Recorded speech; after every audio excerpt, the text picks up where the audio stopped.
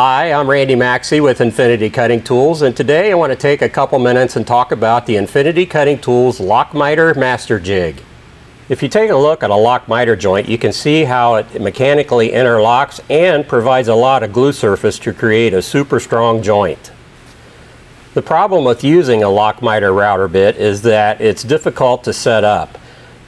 It's based off the center line of the thickness of your workpiece, which means that you have to not only adjust the bit height in your router table, but you also have to exactly position the fence to get a perfect fitting joint. The Lockmiter Master Jig solves these problems. Now, as I mentioned before, the Lockmiter joint requires you to know the center line of the thickness of your workpiece. Everything is based off of that center line.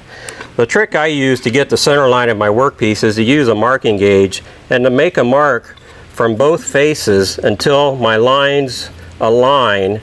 That way I know I've got the exact center.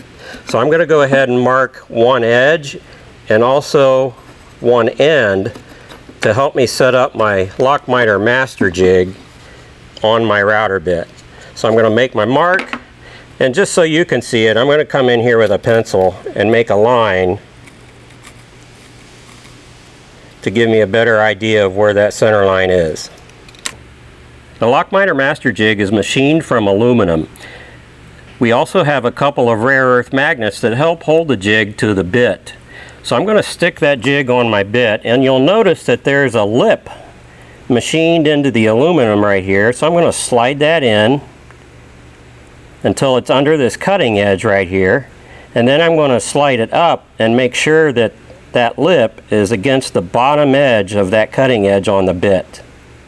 The next step in the process is to take my workpiece with the center line drawn on it and place it up against the edge of the jig. My goal here is to align the center line of my workpiece with the long index mark on the lock Lockmiter master jig. So obviously I need to lower the bit here to make that happen and as soon as I get those aligned I can move on to the next step. Now with the bit height set, the next step in the process is to set my fence position, but it, before I do that, I need to make sure that the Lockmiter master jig is square to the fence. So I'll just come in here with a square and turn the bit just a little bit until it's square to the fence and then I'm ready for my next step. Just like we did for the bit height, the goal here is to adjust the fence until the center line of my workpiece aligns with the long index mark on the Lockmiter master jig. So I'm just going to move that fence in just a little bit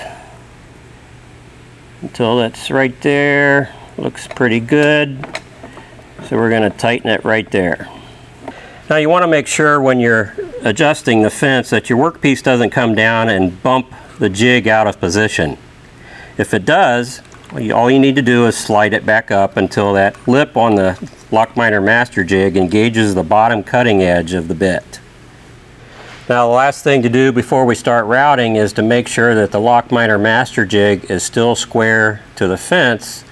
If it's not, of course you're going to want to make the adjustment to make sure it is square and then go back and check the fence position using the center line of your workpiece.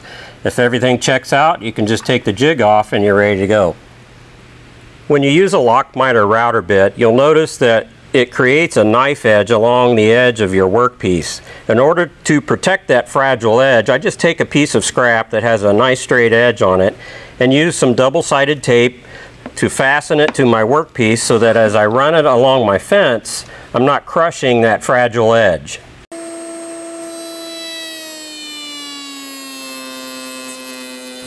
When using a Lockmiter router bit, the bit is essentially trapped in the workpiece, so you'll want to use some sort of hold down like the JessEm Clear Cut stock guides or at least a feather board to keep that workpiece secure as you make the cut. The beauty of using a Lockmiter router bit is that once it's set up properly using the Lockmiter master jig is that you can cut both sides of the joint with one setup. Now I've assembled my test pieces and you can see the joint doesn't quite come together perfectly like we like it to. So all I need to do is put my Lockmiter master jig back on the bit and check my fence position and the bit height one more time just to double check to make sure everything's accurate and make one more test cut and we should be good.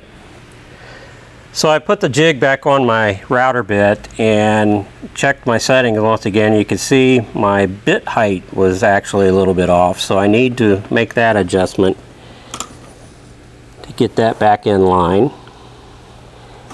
And then I can go back as before and check the fence setting using the center line of my workpiece.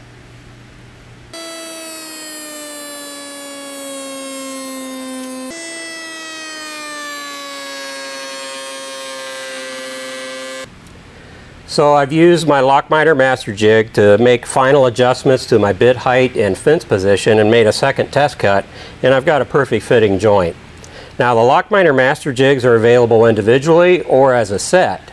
So go to our website and check them out. And while you're on our website, go check out our blog where you can read more in depth about how to use the jig and set them up. Be sure to subscribe to our YouTube channel and like our Facebook page where you can stay up to date on the latest that's going on here at Infinity Cutting Tools.